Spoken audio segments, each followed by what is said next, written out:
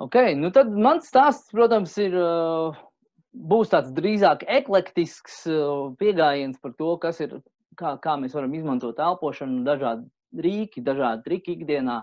Varbūt netika izteikti kaut kā uz fizioloģiju, un varbūt arī netika izteikti uz kaut kādām garīgām lietām, bet viss tas, kas, ir, kas var atstāt ļoti labu efektu un daudzas lietas, kuras es pats praktizēju ar kaut kādu periodiskumu. Dažas lietas biežāk, dažas lietas nedaudz retāk.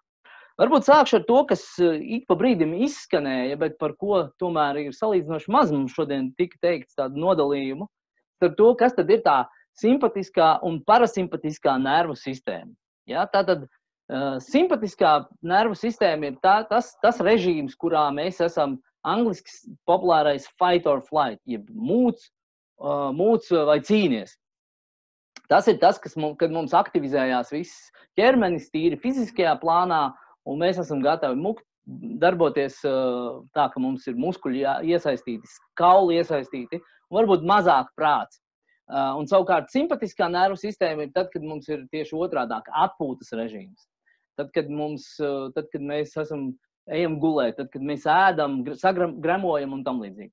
Bet kas ļoti interesanti visā šajā nervu sistēmas dualismā, ir tas, ka šī sistēma aktivizējas mazliet un deaktivizējas mazliet, ja precīzāk sakot, staigā viens un otrs pie katras ielpas un katras izelpas.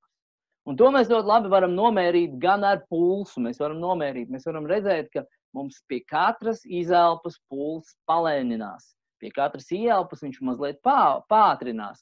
Un rez, rezultātā mums sanāk, ka, ka mēs esam visu laiku tādā, te mēs esam gatavi cīnīties, te mēs atpūsties, te mēs cīnīties, te mēs atpūsties. Un tas mums īstenībā, jo mēs vairāk spējam šādi te ļoti strauji aktivizēt simpatisko nervu sistēmu, un ļoti strauji deaktivizēt šo, nozīmē, ka mūsu nervu sistēma ir ļoti robusta, ļoti spēcīga, staipīga un izturīga. Tas ir tas, kas mums ir vajadzīgs un nepieciešams. Un vien, praktiski vienīgais no veidiem, kā mēs to varam tā pilnvērtīgi darīt, ir caur elpošanu. Jo kas ir interesanti, ir, ka šī simpatiskā un parasimpatiskā nervu sistēma ir uh, to tajā saucamajā autonomās nervu sistēmas um, nu, divas, divas teikt, divi, divi režīmi. Un kā jau nosaukums rāda, autonomā nervu sistēma nozīmē, ka viņa darbojas automātiski pati par sevi. Tātad mēs to nevaram ietekmēt. Mēs to nevaram ietekmēt tādā izvēlē, ka mēs nevaram sev likt um, baidīties vai nebaidīties no kaut kādiem ārējiem apstākļiem. Ja mums pēkšņi nobrauc mašīna gar, gar kājām, ja, tad pēkšņi tu saliec un tas notiek pats no sevis. Un tāpatās, um, tāpatās mums paši no sevis notiek uh, iekšējo orgānu darbības. Sirds mums darbojās pati, nieres, aknas, notiek viss pats. Un kas interesanti, un tas, starp citu, labi, ka tas notiek pats, jo, ja mums vajadzētu ar savu, saviem pieciem procentiem, ko Jānis minēja, ja mums to vajadzētu vēl kaut kā koordinēt, nu, tad būtu baigās ziepes. Nu, tad mēs sačakarētu, nieres, aknas, visu. Mēs jau tāpat spējam viņus sačakarēt, bet nu, tad mēs viņus sa salaidām dēlī vēl ātrāk. Tāpēc tas viss notiek pats. Un šī nervu sistēma koordinē šo darbību orgāniem. Ja? Tāpēc mēs varam ļoti labi redzēt, ka, piemēram, ja mums nervu sistēma aktivizē šo fight, flight, mūcis un cīnīties, ja? viņi saprot, mums vajadzīga visu enerģiju, kas mums ir ķermenī pieejama, aizsūtīt prom no visām tām vietām, kas mums nav vajadzīgas, un aktivizēt tā, lai mēs tiešām varam skriet, cīnīties. Tātad kardiovaskulārā sistēma, muskuļu sistēma, kauli, skelets, tas viss mums tiek aktivizēts. Un, protams, kas notiek, mums tiek deaktivizēts prāts, jo mums tad nevajag domāt, mums vajag vienkārši mukt vai mums vajag izglābties. Mums tiek um, deaktivizēts, piemēram, uh, uh dzimuma orgāni un visa vis vairošanās uh, instinkts. Tāpēc, ka tad, kad mums ir jācīnās vai jābēg, mums taču nav jādomā par pēcnācējiem, mums jādomā, kā mēs paši izdzīvojam. Uh, Un tas nozīmē arī, ka mums arī gramošanas sistēma nav deaktivizēta. Tāpēc, ka tev ir jāmūk, tev ir galvenais ne, jākļūst drošībā, lai nevis tevi apēstu, lai, lai tevi neapēstu, nevis lai tu pāēstu. Ja, tātad tas notiek viss pats. Uh, un, un, uh, bet kas ir interesanti, ka no vis, visām šīm funkcijām praktiski vienīgā uh, sistēma, kuru mēs varam darbināt autonomi, kas notiek pats, bet kuru mēs varam arī apzināti pieslēgt, ir elpošana. Un tas ir ļoti būtiski, tāpēc arī mēs varam ietekmēt mūsu iekšējos orgānus, ietekmēt mūsu visu ķermeni netiešā veidā caur elpošanu, jo šī elpošana, apzināta elpošana mums ļauj piekļūt nervu sistēmai, kas savukārt tālāk nodod šos signālus visam mūsu ķermenim. Tieši tāpēc arī bija tas, kas, kas tika pirms tam minēts. Ja, ja mums ir kaut kādas noteiktas sajūtas, tas mums atstāja iespaidu uz elpošanu, Tā ir tā reaktīvā, tas, tas kā mēs reaģējam, gribot vai negribot, tas notiek. Bet mēs varam to izdarīt arī aktivizēt pretējā virzienā. Mēs varam šo te elpošanu teikt, ah, mēs tagad varētu būt mierīgāk elpot un tādā veidā signalizēt atpakaļ nervu sistēmai, lai viņa darbojās atbilstoši tam, kā mēs vēlētos. Un tāpēc mēs diezgan labi varam redzēt, tad, kad, un tagad es jums parādīšu šo nākošo uh, bildīti, Jūs redzat, um, punktiņi iet vienā virzienā vai otrā virzienā. Un jūs tagad varat katrs pie sevis ļoti lēni elpot iekšā. Es ierosinātu to darīt ar degunu, bet ļoti lēni elpojiet iekšā, elpojiet ārā. Un apskatieties, kā maina virzienu uh, punktiņi. Un iemesls, kāpēc tas tā notiek, ir tieši tas, ko es arī minēju. Katra izelpa palēnina sirdsdarbību, katra ielpa pātrina, kas nozīmē, ka mums uh, asinsrite bišķiņ pamainās pie katras ielpas, izelpas, un arī uztvere līdz ar to un smadzenes. Un tāpēc šis virziens mainās vienā un otrā virzienā. Šis ir visvienkāršākais tests, lai parādītu, kā mums mainās uztvere atkarībā no tā, vai mēs ieelpojam vai izelpojam. Um, es saprotu, ka jūs tagad esat jau varbūt nedaudz noguruši. Es gribētu, ejot tālāk, eh, pastāstīt, par ko Jānis mazliet runāja par enerģiju, kā uzlabot sevi enerģiju. Bet eh, es dzirdēju pavisam, pavisam vienkāršu, bet ļoti fantastisku konceptu attiecībā uz elpošanu. Un tas koncepts saucās ūdens, viskijs un kafija. Uh, ūdens. Tas nozīmē, jūs varat praktiski ūdeni, ūdens pārdozēšana ir, uh, nu, ir pie ļoti lielām dozām. Jūs varat daudz dzert. Restīvi, jūs varat ūdeni dzert, cik gribat daudz, cik bieži daudz, ja, un, un jums tas ir vajadzīgs un jums nāk par labu. Tā būtu ūdens elpošana. Uh, otrais režīms, un tā būtu, piemēram, tad, kad jums, jums grib, liekas, ka jums vajadzētu tā kā mazliet tā atslābt uh, ik pa brīdim, tāpat kā iedzert ūdeni, jūs varat uztaisīt, piemēram, četras ielpas, četras izelpas, četras ielpas, četras izelpas. Mazliet fokusēties uz ielpu, izelpu un tādā veidā, tā teikt, figurāli izsakoties, dehidrēt un apūdeņot savu ķermeni, bet šajā gadījumā apska, apskābekļot savu organismu. Tagad ņemsim kafiju. Kafija savukārt ir tāda lieta, kur mums var dot enerģiju. Par to, protams, mēs vēl varam strīdēties, vai kafija tik tiešām var mums dot enerģiju vai drīzāk viņa mobilizē mums esošo enerģiju un, un novirza tā kā vajag. Bet nu, jūs saprotat ideju, ka mēs dzeram kafiju, lai dabūtu varbūt kaut kādu mazliet kortizolu, adrenalīnu vairāk un, un dabūtu sevi enerģiju. Jūs zināt, ka jūs varat vienu, divas krūzītes izdzert, bet pārdozēt arī nevajadzētu. Tas nav labi.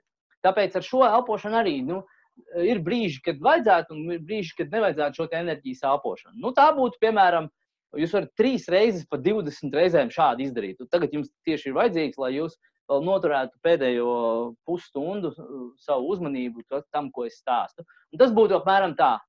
Fokusējieties tikai uz izelpu, uz asu izelpu caur degunu. Ielpa ienāks pati. Tas būtu apmēram tā.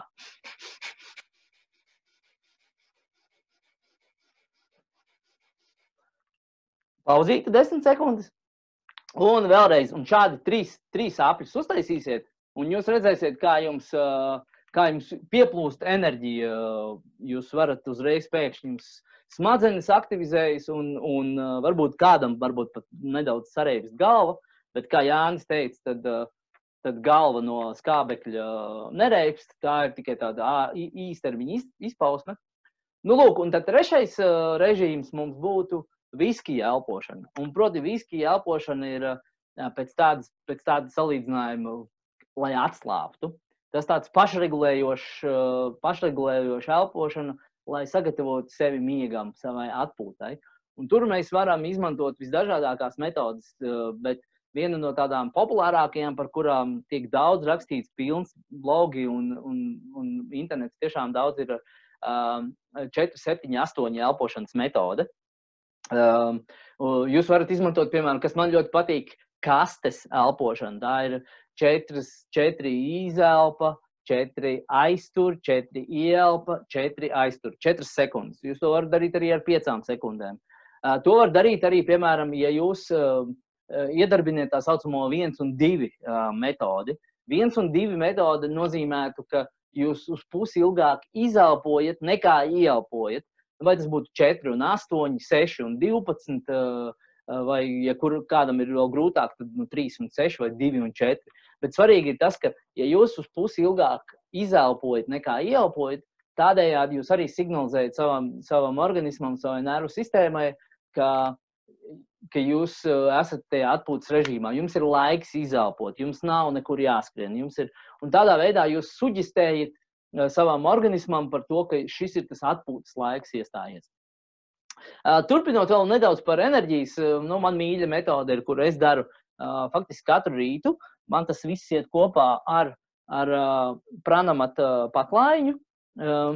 Tātad tā ir, es pranamata paklājiņš, es uz viņu stāvu un īstenībā vēl šitā te kratos aptuveni 20, 30 sekundes. Un paralēli tam tās ir trīs asas vai četras asas ieelpas caur degunu un garāka izelpa caur muti. Tas būtu apmēram tā.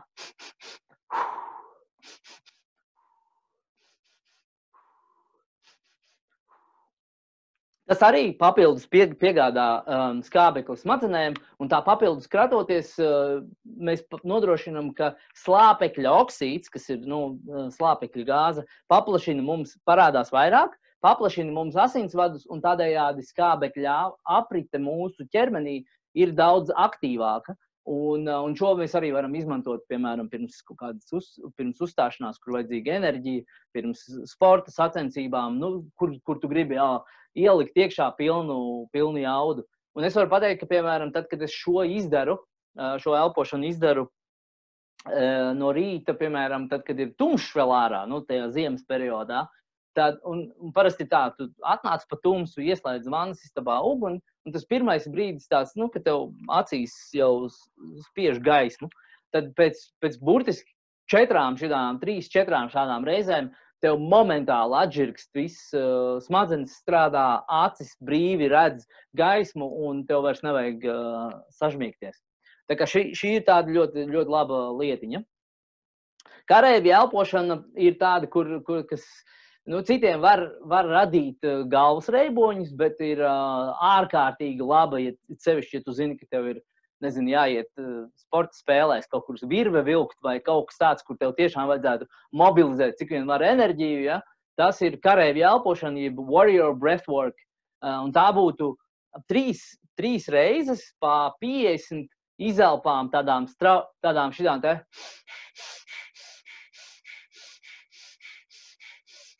iekšā, ārā, iekšā, ārā. Pie pēdējās, teiksim, 50. no aptuveni, tu izelpo, aiztur elpu uz 10 sekundēm, ieelpo uz 10 sekundēm, ievelc iekšā aiztur uz 10 sekundēm un sāc otro apli. Un šādus trīs apļus izveidot, nu, pirmais, pirmais moments būs, ka tev gandrīz vēl liksies, ka tev sarežģīs galva, bet nākošais būs, ka tu esi absolūti gatavs iet cīņā, iet darbībā un, un tādā nu, pozitīvi, agresīvā noskaņojumā, kur tu esi gatavs nu, dot pilnu, pilnu gāzi grīdā. Vims Hofs, par Vimu Hofu es daudz nerunāšu, tāpēc, ka tas ir, nu, tā ir, nu, izņemot to, ka tā arī ir viena no enerģijas elpošanām, bet šeit mums nav lektors Māris Žunda, kurš ir viens no Latvijā, vien, viens no nedaudzajiem Man liekas, Brigita Mironova arī ir mācījusies pie, pie Vima Hofa.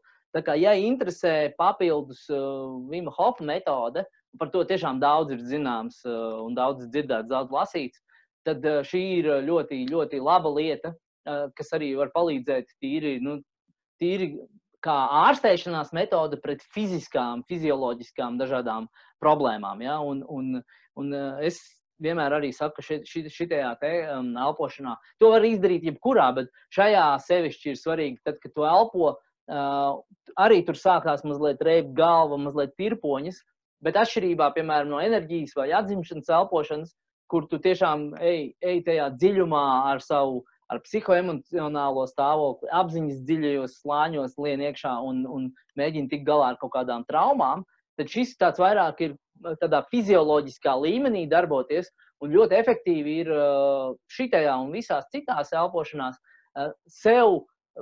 Katra elpa iekšā nozīmē gandrīz vai sev skaļi teikt, nu, vai prātā skaļi sev teikt, veselība, enerģija iekšā, katra izelpa, tu apmēram domā, es to covid elpoju ārā, vai vienalga, ko tu tur elpo ārā. Bet elpo ārā visu slikto. Ja? Un, un kā es parasti smējos, ja, man, ja es aizietu pie ģimenes ārsta, un ģimenes ārsts man teikt, klausies, nu jā, tev tur ir, ir smagas augstēšanās, tur uh, gripa vai kaut kas tamlīdzīgs, un es tev neizrakstu nevienu zāli, bet es tev izrakstu Vima Hofa elpošanu uh, trīs reizes nedēļā, un gavēšanu, un tad, kad tu negavēji dzert uh, kaulu buļļonu, es teiktu, ka tas ir tas īsais ārstēšanas metode, gandrīz vai tā. Tā kā um, Vīma Hofa elpošana ir tiešām tāds, tāds uh, fizioloģisks, terapeitisks elpošanas pieejams. Tālāk, jau ko mēs runājām par, par elpošanu kā diagnosticējošo rīku, tad par šo es arī noteikti esmu daudz runājis. Es domāju, ļoti daudz no jums šo ir dzirdējis.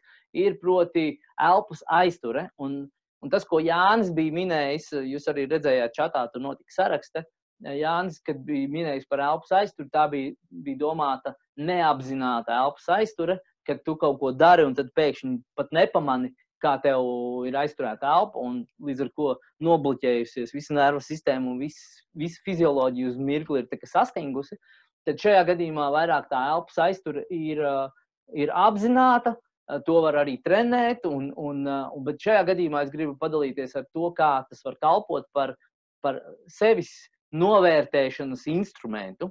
Un proti, jūs varat to darīt gan stāvus, staigājot, gan sēdus.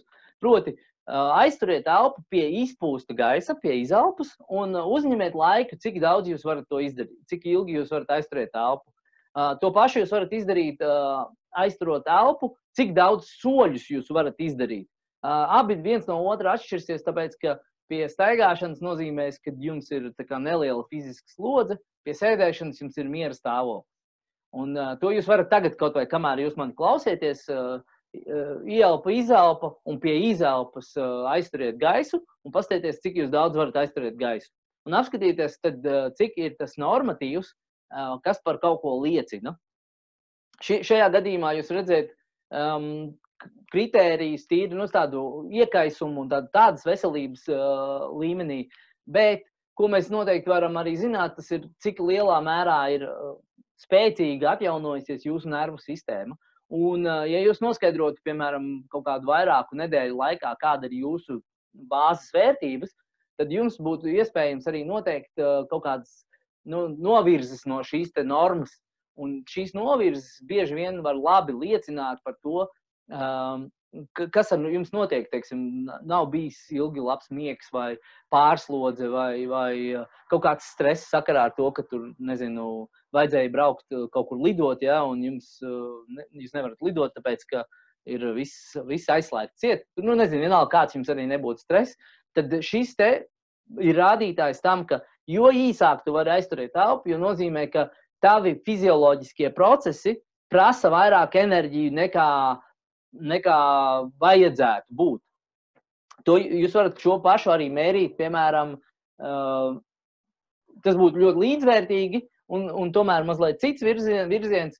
Jūs varētu mērīt, um, cik šobrīd, tagad arī otrs tests jums būtu, cik reizes minūtes laikā jūs izdariet ielpas izelpas. Uh, un reizi skaitās viena ielpa, viena izelpa. Un apskatīties, cik daudz jūs varat. Arī vēlāk es parādīšu, kāda ir normatīva vai kāds, kāds būtu tas vēlamais uh, līmenis. Tad jūs, kamēr es runāju, izvar, izdariet arī otru. Lēna ielpa, lēna izelpa. Un, un paskatieties, cik jūs to darat, piemēram, šobrīd, klausoties man. Tā. Uh, Nu, lūk, tad es pieslēdzos klāt tai lietai, kuru, kuru Jānis minēja kā pirmo, bet nepieminēja skaļi. Viena no nopeltā, nopeltākajām elpošanas lietām, elpošanas vingrinājumiem, kuru ķermenis dara praktiski pats, ir žāvāšanās. Un tā ir arī viena ļoti, ļoti, ļoti slikta lieta, tad, kad mēs apspiežam šo žāvāšanos. Un mēs viņu, protams, apspiežam arī tāpēc, ka mēs esam iemācīti apspiest viņu. Skolā tas nozīmē, ka tu kaut kā slinko vai tu tur neesi. Nu, var sakot, skolotājs mēdz bieži vien norādīt, klausies, tu, ko tu te žāvājies, tev jāstrādā vēl kaut ko un tam līdzīgi.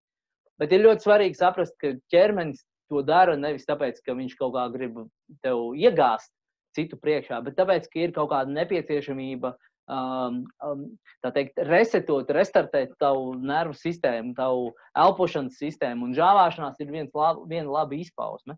Un, protams, tas ir arī kaut kādā ziņā liecin, liecība tam, kas notiek apkārt. Um, piemēram, vai ir kvalitatīvs gaiss telpā, vai, vai tev ir uh, tāpatās, tev esi labi izgulējies, vai nervu sistēma, vai nav slodzi pa lielu un tā tālāk. Var sakot, ir ļoti daudz izpausmes, bet ķermenis tev to liek priekšā, Un tu lūdzu neapslāpē, tāpēc ka ķermenis to dara, tāpēc ka viņam tā vajag, nevis ka viņš tevi grib iegāzt. Ja? Tad, tad uzsver to svarīgo punktu. Okay, tagad, uh, tagad es jums parādīšu, kāds ir tas uh, līmenis ja? um, par elpošanu minūtē, cik reizes minūtē. Ja, mēs redzam, ka piemēram trīs, trīs elpas minūtē tas, ir, nu, tas būtu tāds, uh, pat varētu teikt, ļoti trenētam, ļoti apziņotības trenētam, tādam cilvēkam, kurš spēj saglabāt mieru pārsvarā diennakts no lielākajā stundu skaitā. Ja? Tas, kas parasti ir, ko es esmu pamanījis arī savos pasākumos, semināros, ir, ir ka lielākoties cilvēki apmēram elpo starp 13 un 18 reizēm minūtē. 12 tas būtu tad, kad tiešām tu parasti cilvēks, kurš teiksim, ikdienā elpo 15 reizes minūtē, ja viņš ir ļoti atpūties, tiešām nav stresa, vakarā iet jau taisās, iet gulēt, nu, tad viņš parasti ir 10, 12 reizes minūtē elpo. Bet tas vēlamais, kādā, uz ko mēs varētu iet, es teiktu, ka, ja mēs varētu sasniegt 6 reizes minūtē līmeni, tas jau būtu diezgan labs rādītājs. Un to, protams, mēs varam izdarīt, ja mēs to trenējam. Ja mēs iemācām organismam, ķermenim saprast, ka mēs varam iztikt ar mazāku skābekli, kas vienlaicīgi arī ir treniņš apziņotībai, tāpēc ka šis, piemēram, vingrinājums ļoti labi aizstāja klasisko meditāciju, tāpēc ka meditējot, eh, tā viena no problēmām cilvēki ātri pazūd savās domās un pazūd savos, um, savos uh, stresa kaut kādas uztraukumu līkločos. Tad šis ir vismaz tāds tehnisks pieejams, kā tu vari nu, vismaz skatīties pulkstenī un skaitīt līdzi. Tas ir tas fokusa punkts. Un, un mēs zinām, ka meditācijā ir ļoti svarīgi atrast šo fokusa punktu, pie kā atgriezties. Nevis no viņa neaiziet, bet pie kā atgriezties. Un šis ir ļoti labi uztrenē. Ilgstoši šādi elpojot, jūs varat noteikti uztrenēt uh, to līmeni, cik daudz jums ir nepieciešams skābeklis. Un jo ķermenis sapratīs, uh, ka viņam mazāk skābeklis vajadzīgs, jo mazāk notiks visi kaitīgie procesi organismā. Uh, jūs te redzat arī uh, normalbreathing.com ir viena no ļoti labām lapām, kur jūs varat nu, tā tehniski pieiet elpošanai, un daudz, daudz vērtīgu rakstu un vērtīgu atziņu ir šajā lapā. Bet uh, tagad, ņemot vērā, ka es to pieminu, šobrīd ir svarīgi piebilst, ka uh, viss, kas šodien tika runāts, es ceru, ka nu, tās būtiskās lietas arī no pārējiem lektoriem es būšu izveidojis kopsavilkumā, un tas viss būs pieejams kā parasti, es saku, nedēļas aptuveni laikā. Un arī mana, mana daļa būs visa ļoti labā materiālā, PDF formātā. Jūs varēsiet paši drukāt laukā, praktizēt un, un darīties. Tā kā jums nav obligāti viss jāskricelē un jāpieraksta. Tātad apzināto elpošanu jau šī bija. Minēju kastes elpošanu 4, 7, 8. Vēl, vēl varbūt lieta, kas, kas tā labi var noderēt, ir, tas nav gluži tiešā veidā uz elpošanu, tomēr man liekas, ka tā vismaz tādā produktivitātes nolūkā, ja, jums, ja mēs esam tādi ikdienas cilvēki, kas sēž pie datora vai stāv pie datora, tad Pomodoro tehnika ir ļoti labs veids, kā parasti runā tā, ka pomodoro tehnika ir labi, kas ļauj tev fokusēties uz darāmo darbu. Tā ir 25 minūšu fokusēšanās uz darbu. Tu, tu darbojies, tur strādā, raksti, jebko dari ar Excel tabulām. 25 minūtes nozvana, tev ir tad nākamais 5 minūtes pauze, kuru laikā tev ir um, jādara teiksim, fiziskā vingrinājuma, jāpadzerās ūdens, jāiziet uz toleti un tā tālāk. Tad es šajā gadījumā gribu fokusēties uz šīm piecām minūtēm. Un tās pomodoro piecas minūtes tiešām izmantot, ja tev ir dienas laikā, teiksim, tu strādā, nu, vidēji, saku, cilvēks strādā nevis 8, bet 4, 5 stundas. Tad šo, šo 4, 5 stundu laikā, nu, tev gadīsies, nu, vismaz kādas 5, 6 pauzes un stabili. Tad izmanto tās vismaz divas, no, divas vai trīs no tām, kādā no elpošanām, vai no aizturi gaisu, vai uztaisīja apziņotības elpošanu, kastes elpošanu, tā vai citādi, bet kaut ko dari. Un pomodoro tehnikas 5 minūtes velti elpošanai. Lai sevi um, noskaņotu elpošanai, tāpat kā es parasti minu binaurālos ritmus, kas tas, starp citu, izskanēja kaut kad. Um, uh, kad es pārsvarā izmantoju binaurālos ritmus, lai strādātu, lai fokusētos, Un, un tur ir speciāli režīmi, kur tu vari uzlikt, teiksim, focus, learning vai, vai, vai, vai, vai tam līdzīgi. Bet ir arī tādi kā meditation, mindfulness vai pat sleep. Un tad tajās piecās minūtēs nomaini to režīmu. Kā jūs redzat, šajā aplikācijā, konkrēti šajā, var ļoti labi mainīt uh, ritmus, režīmus. Tāpēc izmanto šo laiku un arī sevi skaņa ļoti labi ļauj iekondicionēt, tā teikt, nervu sistēmas līmenī sagatavot uz to, ka à, šī skaņa, tas nozīmē, man ir jāelpo. À, es elpoju, tas nozīmē, es varu mazliet nomierināties, atslābt un tam līdzīgi. Un jūs redzēsiet, kā jūs uzlabojās jūsu produktivitāte, jūsu miera stāvoklis, jums uzlabosies miegs, un arī būs daudz, daudz vienkāršāk tad iet un meklēt, šķetināt arī tās dziļās problēmas, par kurām, piemēram, tika runāts iepriekš.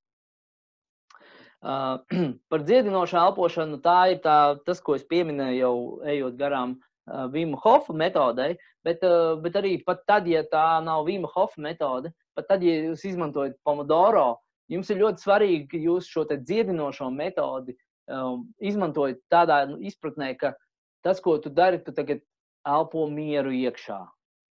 Uh, un elpo ārā stresu. Ja? Un tu, tā ir tāda gandrīz vai saruna ar sevi. Uh, mantriska saruna. Un es šobrīd salīdzinoši maz zinu par to aumu, par ko mums tika runāts, par ko Arthurs runāja. Tas noteikti ir interesanti. Es nesen biju arī Stabiņa lekcijā, kurā viņš diezgan plaši par šo stāstīja. Katrā ziņā noteikti interesants lauks, kurā es noteikti vēl painteresēšos, jo man tā skaņu, skaņa un skaņas vibrācijas, ko raisa šī skaņa, ir aktuāli. Man liekas, ka tas ir svarīgi. Uh, Bet eh, tad šī dziedinošā elpošana būtu izmantot eh, nu, sevi, sev stāstīt labu lietas, labas lietas un tikt vaļā no kaitīgajām lietām. Uh, nāsu nomaiņa, nāšu no, es pat nezinu, kā ir pareizi nāšu vai nāsu nomaiņa, bet, jebkurā gadījumā Jānis šo te pieminēja, arī tiek uzskatīta kā ļoti atbrīvojoša, ļoti relaksējoša elpošanas metode. Um, bet uh, laika trūkuma dēļ iešu tālāk. Um, tagad es pieminēšu par to, kas tika daudz jau jautāts un par ko runāts. Par to beigu beigās, ar ko es arī noslēgšu savu runu, ir par elpošanu uh, caur muti un degunu. Tātad mums ir ļoti svarīgi saprast, ka mums cik vien var sev jāatgādina, līdz tas rodās ieradumu līmenī, ka mums ir jāelpo cik vien var caur degunu. Un, lūk, mēs varam apstīties, kādas, kādi mums ir, kas mums notiek ja mēs elpojam caur muti. Tad mēs darbinām krūškurvi, nevis diafragmu. Kas nozīmē, ka pats par sevi mums ir ļoti sekla elpošana. Mēs faktiski caur muti elpojot un caur krūškuru elpojot, mēs tikai šo augšējo daļu aktivizējam un dabūjam nepilnīgu skābekļa daudzumu, kāds mums būtu vajadzīgs. Caur diafragmu savukārt mēs kustinām visu. Pat, mēs pat izrādās sev uztaisām stabilāku stāju, stabilāku uh, um, ķermeni, kas mums ļauj attiecīgi labāk nostāties ar pleciem uz aizmuguri, muguru taisni. Tas ir faktiski, faktiski elpošana caur degunu. Jau Kārlis par šo minēja, kad mēs nu, daudz mazāk uzņemam skābekli, uh, ja elpojam caur muti. Un uh, mums tāpēc ir mazāk enerģijas. Un, starp citu, iemesls, kāpēc daudzi, kuriem ir daudz jārunā, kuri uzstājās skolotāji, uh, nereti mēdz teikt, ka nu jā, šī auditorija bija tāda, bija tāda ļoti enerģija izsūknu, izsūknējoša.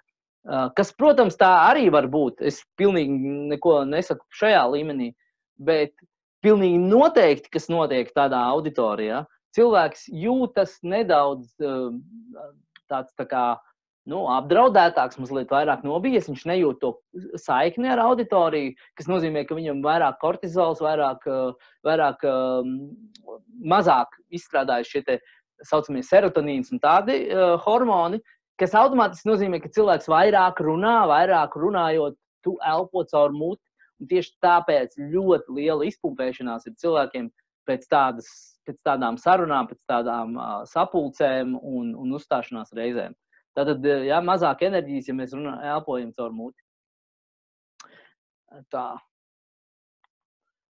Mums, protams, ir attiecīgi arī mazāk slāpekļi, kas paplašina asinsvadus. Par to jau es runāju. Ja? Mums tātad kratīšanās, strauja elpošana, un ir arī dažādi līdzekļi, ko mēs varam lietot, piemēram, bietas, biešu sula, starp citu, dzeramā soda ļoti labi paplašina asinsvadus.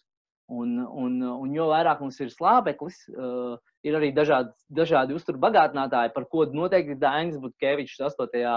jūnijā stāstīs. Tātad tas ir svarīgs aspekts arī, kas notiek. Nogurums, protams, nespēks, tas viss kopā iet ar pēc treniņiem ar degunu. Uh, attiecīgi stress lielāks, un tas viss iet tādā riņķa, riņķa tādā dancī. Un, protams, lielāks, sliktāks miegs, ja mums ir spriegums muskuļos, uh, mums sausa mute, starp citu. Šī sausā mute, par ko minēja Kārlis, skrienot, notiek arī runājot daudz un elpojot caur muti. Un, attiecīgi, tad ir vairāk skābes mutē un ir daudz lielāks uh, risks zobu bojāšanos, skariesu. Um, jā, protams, tā ir svarīga aspekts, ka mums notiek pirmā, um, pirmā aizsarga reakcija pret eh, kaut kādiem vīrusiem un nevajadzīgām liekām baktērijām ir caur degunu, jo tas ceļš, kādu skābeklis un visi toksīni, kurus mēs arī ieelpojam, viņi daudz lielāku ceļu veids. Uh, pirmkārt, jau pirmā attīrīšanās notiek, un otrs, uh, tas ļauj arī šo ilgāku laika, laika dēļ. Mums no kuģa mikrobioma arī radās mutes dobumā, arī deguna dobumā radās baktēriju tas tā pirmais aizsargs slānis, kas cīnās un sadod pa muti tiem, tiem visiem nevajadzīgajām lietām. Un tāpēc elpošana caur degunu nozīmētu daudz lielāku imunitāti. Tīrā, tīrā fiziskā veidā. Un kas ļoti interesanti, un es domāju, tas labi saskan ar, ar, ar, bē, ar um, aumu skaņu.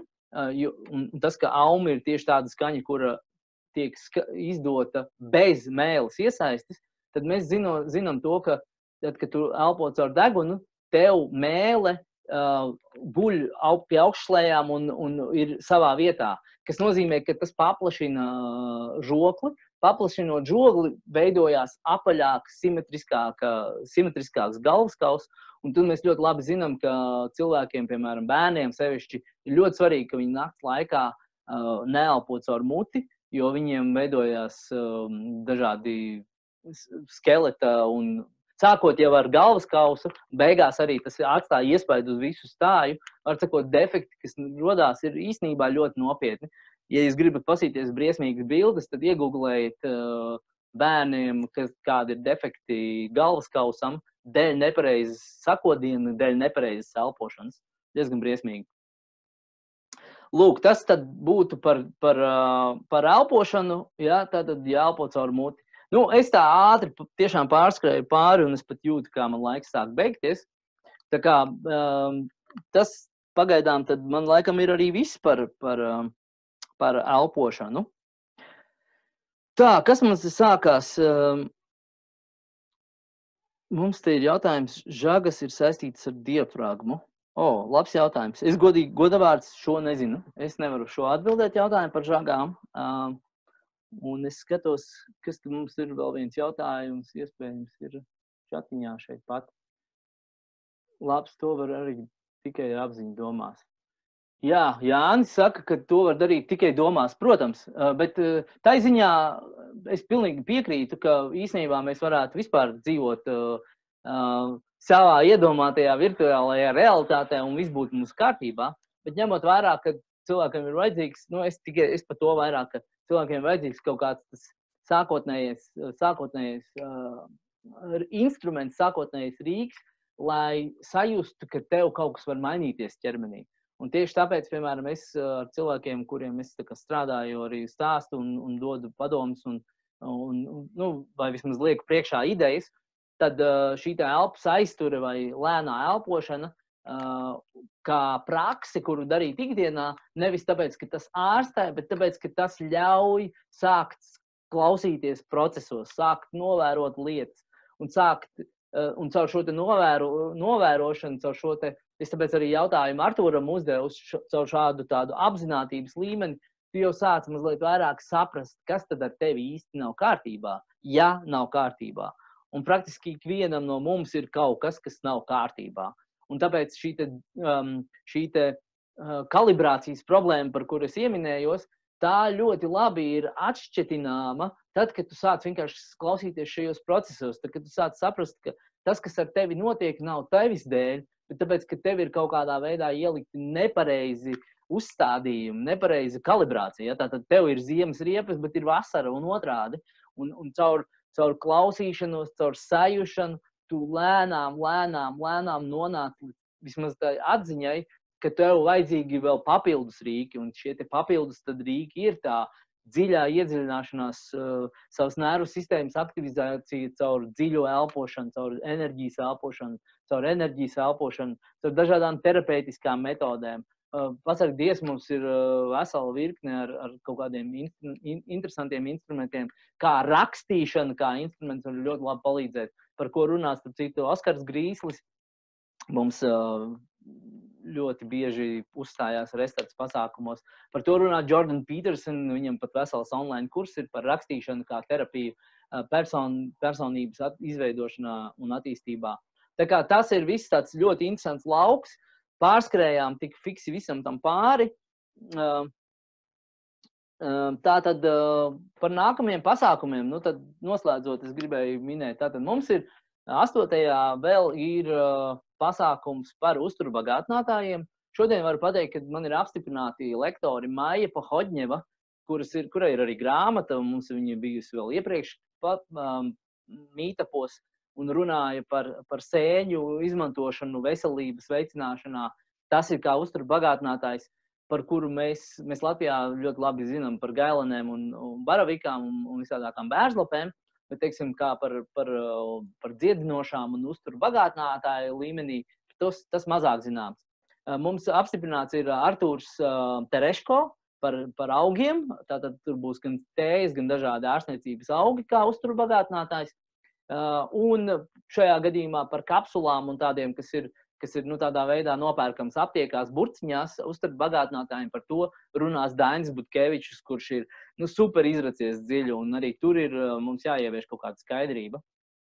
Un par pārtiku, kā uzturu bagātinātājiem, ir vēl atvērts jautājums, bet nu, mums izskatās, ka drīz būs jau zināms. Um, tad mums tālāk ir par sirdi, fizioloģiju, un sajūtas un emocijas, un viss par sirdi visplašākajā nozīmē. Būs jūlija pasākums 13. jūlijā Tad mums ir smadzenes, augusta temats par neiroloģiju, par domāšanu un par evolūciju, kā tas viss iet kopā. Viss, protams, temats un uzsvari būs atkarīgi no tā, kāda būs beigā, beigās apstiprinātie lektori. Pāris vēl ir, bet es vēl skaļi negribu teikt un runāt. Un uh, tagad ceturtais zināmais būs par mutes un zobu veselību, par, par to, kā tad ir īsti ar tām sudraba, merku, šām dzīvesudraba blombēm, par mutes kopšanu, cik svarīgs ēdiens tajā visā baktērijas un vispār vēdera mikrobioms, kādu iespēju atstāja arī uz mutes un zobu veselību. Tā kā tas būs arī, manuprāt, ļoti interesants temats, par kuru es Latvijā nedzirdu daudzus runājam, piemēram, par tām pašām dzīvesudraba blombēm. Šobrīd pat īsti nav tāda certificēta vai kaut kādā ziņā korekta veida, pie, nav īsti zobārsti, kur var nomainīt šīs blombas. Ja, to var izdarīt, bet vai to dara pareizi, diezgan apšaubāmi. un, un dažkārt ir lielāks kaitīgums nomainīt nepareizi nekā atstāt viņus iekšā mutē, zobos. Tā kā, tas tāds interesants temats. Un visbeidzot, rudenī šobrīd izskatās, ka tas varētu būt drīzāk novembris, kad mums būs arī vesela konference par visdažādākiem tematiem. Un, un mums šajā pandēmijas laikā ir iezīmējušies diezgan daudz arī interesanti jauni ārsti, kuri uh, visu kaut ko interesantu stāsta un runā. Tas, tas būs pasākums, tāds iedvesmojošs pasākums ar daļu um, praktiskā. Nu, un, protams, kas tagad vēl vasarā ir tādas interesantas lietas, ko jūs varat uh, plānojās 25. un 26. jūlijā. Um, Zibrestarts, 24 stundu pasākums. Daži no jums, es zinu, ir bijuši pagājuši gadu, un, uh, un šogad uh, parūpēsimies par tādu vēl uzlabotāku programmu, kas ir 24 stundu laikā, uh, tādā diezgan intensīvā, bet ļoti tādā aktīvā, foršā veidā um, nu, uz izaugsmi. Un, un, un šajā arī piedalīsies. Uh, Visticamāk, izskatīsies, ka tajā piedalīsies arī Jānis Brūns un, un, un uh, runājam arī ar, ar, ar varbūt arī Artūrs Kupčs un, un Kārlis. Ja, tā kā te būs tāds aktīvs, tāds kā kaut kas starp izklaidi un tādu pašizaugsmu un, un iedvesmu un ar elpošanu un ar kustībām un ar meditāciju un ar skaļām un tam līdzīgi. Nu, un, protams, tāds, tas, tas, tas īstais pasākums, kas tas mans, mans izlolotais gara darbs ir restarts no 3. līdz 5. jūlijam. Kalnmuižas pilī šis pasākums notiek, tas tikai 15 cilvēkiem, un, un dažas brīvas vietas vēl ir uz, uz jūlija pasākumu. Tā kā uz to labprāt es arī gaidu, aicinu, pies, pie, piesakieties, rakstiet man un, un tā. Tā kā paldies jums par uh, foršo, foršo pasākumu. Gribēju vēlreiz pateikt paldies Artūram Kupčam par stāstu, Jānim Brūnam, Kārlim Vanagam un arī visiem pārējiem, kas uh, 33 cilvēkiem, kas līdz galam arī um, um, palika un, un piedalījās arī ar saviem jautājumiem. Uh, gribu vēl pateikt tā, ka tātad vēlreiz visi apkopojumi materiāli, tos es atsūtīšu kādā nedēļas laikā. Uh, un ieraksti būs pieejami visticamāk divu dienu laikā. Tiem, kas neredzēja vai neredzēja visu, vai, vai tam līdzīgi. Tā kā paldies tie, tiešām liels. Un, un nu ko? Tiekamies atkal droši vien 8. Uh, jūnijā vai kādā no citiem pasākumiem. Paldies! Čau, čau, čau!